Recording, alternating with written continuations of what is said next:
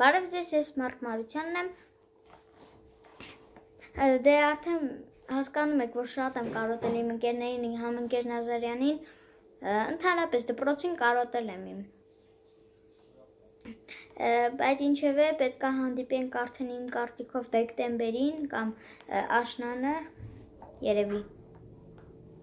Ես այսօր կարդալու եմ ինքնուրույն ընթերցանությունից կախարդական ծառը, դա գրել է Դոնալդ Բիսեթը։ Գնացինք։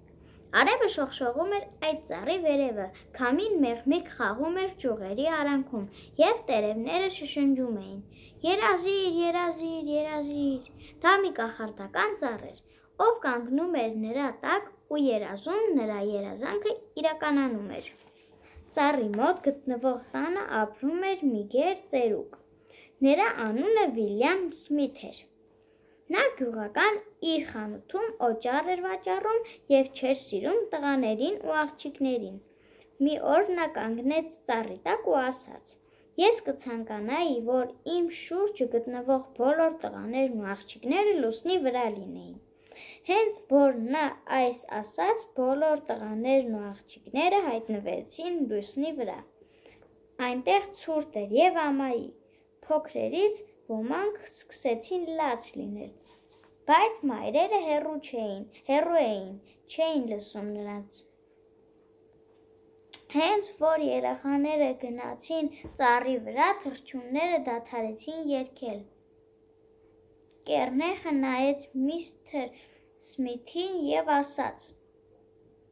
Ես կուզենայի, որ բոլոր երեխաներն այստեղ լինեին։ Միստր Սմիթն ասաց. Ես կուզենայի, որ նրանք բոլորը լուսնի վրա լինեին։ Սև կեռնեխն ասաց. Ես կուզենայի, որ նրանք բոլորն այստեղ լինեին։ Նորից երեխաները սաստիկ կներեք շփոթվել էին, չգիտեին թե որտեղ են։ Միստր Սմիթը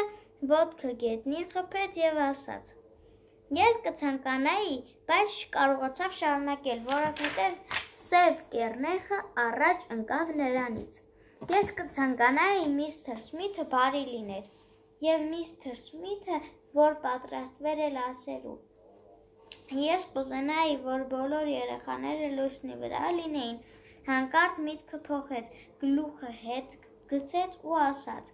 Ես կցանկանայի, որ բոլոր երեխաները այս երեկո թեյ գային ինձ մոտ եւ մենք գաթան նարնջահյութ եւ լիմոնադ ունենայինք։ Եվ ես օճառ վաճառելու փոխարեն քաղցրավենիքի խանութ ունենայի։ Ուրա, ուրա, ուրա, Նա երեք անգամ գլուխկոնձի տվեց եւ ծառի վրայի բոլոր թրջունները սկսեցին նորից երգել։ Արևը շողաց, ծառի ջուղերի արանքում քամին մեղմիկ խաղաց, տերևները շշնջացին. երազիր, երազիր, երազիր։ Այսքանը։ Հուսով եմ ձեզ դուր եկավ։ Ստեսություն։